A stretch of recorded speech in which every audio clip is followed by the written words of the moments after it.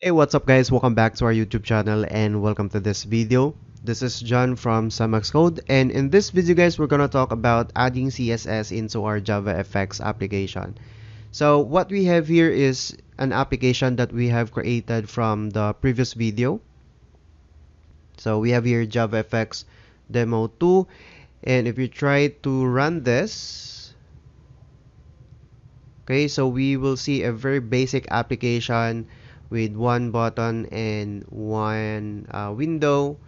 And maybe at some point you want to add styles or you want to add colors to this window and of course maybe change the, the, the font for our button. So in order for us to do that we need to add CSS into our application. Okay? So basically let's just um, close this right now and open up our main class which is the JavaFX demo 2.java. So after creating the scene object, we can try to add the CSS here by uh, using the scene object. So scene dot and then get style sheets and then add.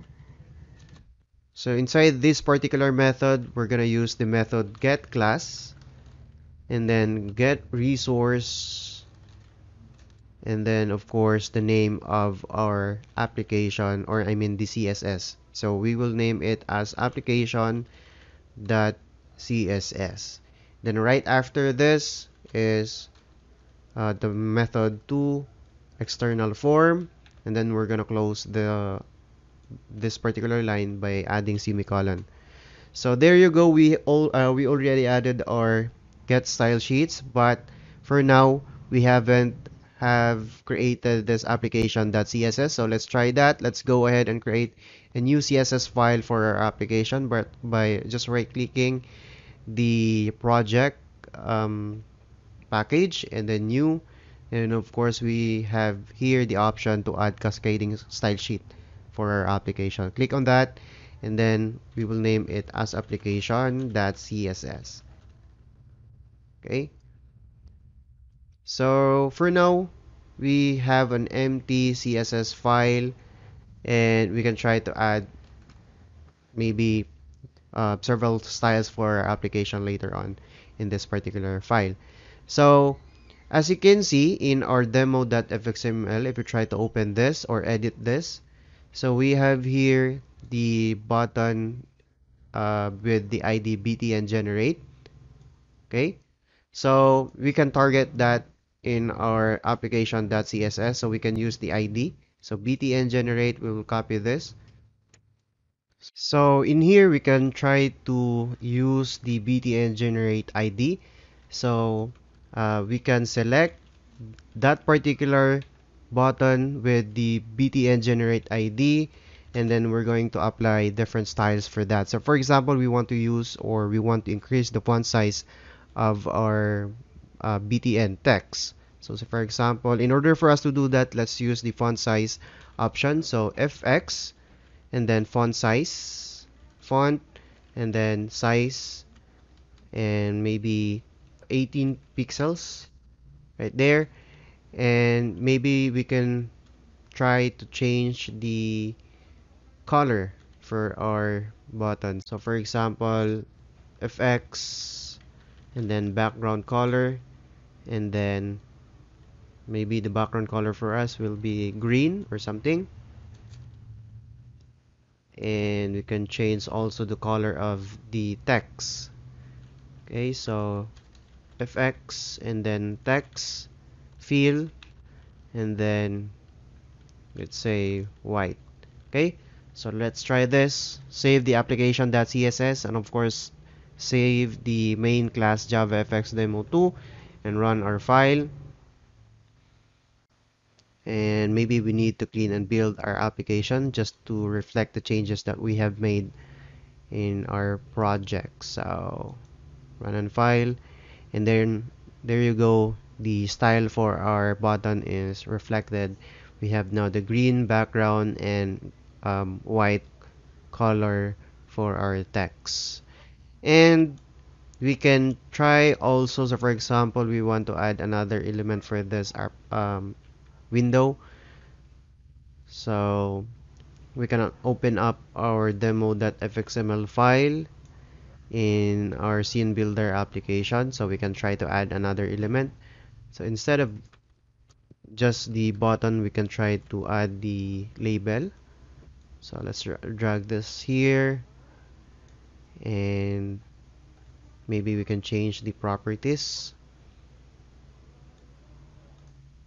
okay and under code we can um, add an ID for this particular label. So for example, label result.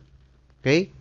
So fxid or the, the ID for our label is label result. So let's go back to our application.css and then we can target or select that particular label by using uh, the number sign or hashtag which is label and then result. So font size we can try it like 24 and then the background color for our label will be something different. So background color. And then maybe blue. Okay? And the text fill will be white. Okay? So there you go. Save this and clean and build our application just to make sure that the changes will be reflected.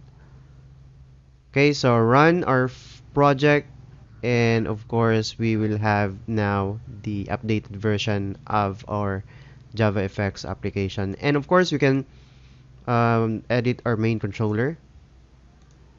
Instead of displaying the uh, random number in our console we can try to use our label. So label result and then set label result let's try this one more time.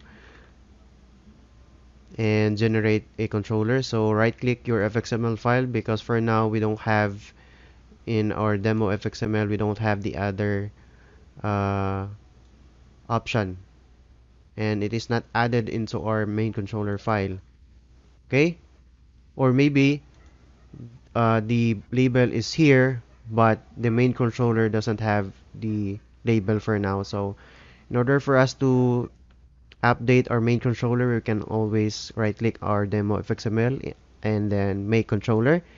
And then it will automatically generate the label for us okay?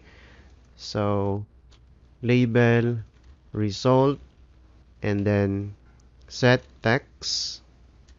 And of course we can set the number which is the value of our uh, random number okay? So right click our project and then run. So basically if you try to click this it will generate or display the generated number. So as you can see now, it should be reflected in our um, demo uh, fxml here in scene builder. But as you can see the styles are not applied right? So the button should be green and this should be blue.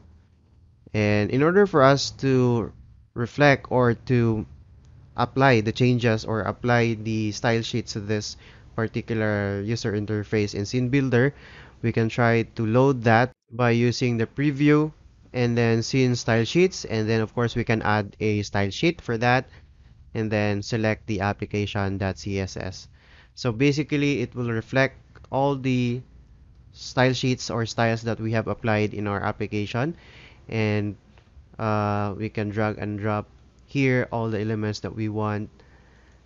And yeah all the elements that you want. And you, of course you can always target the anchor pane um, and other elements that you want. Now if you want the CSS reference because uh, there are a lot of CSS styles that we can apply to our application so all you have to do is search JavaFX CSS reference and the first result or the first uh, uh, yeah, result is the JavaFX CSS reference guide from Oracle Help Center.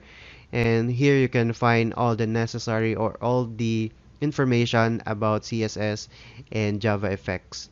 Okay, so you can try to be familiar with all these uh, classes, all the styles you can apply to your user interface or the elements that you want to add in your JavaFX application. Okay, so I think that's all there is to it guys in this particular video and if you have questions please let me know in the comment section below and I'll try to answer all the questions.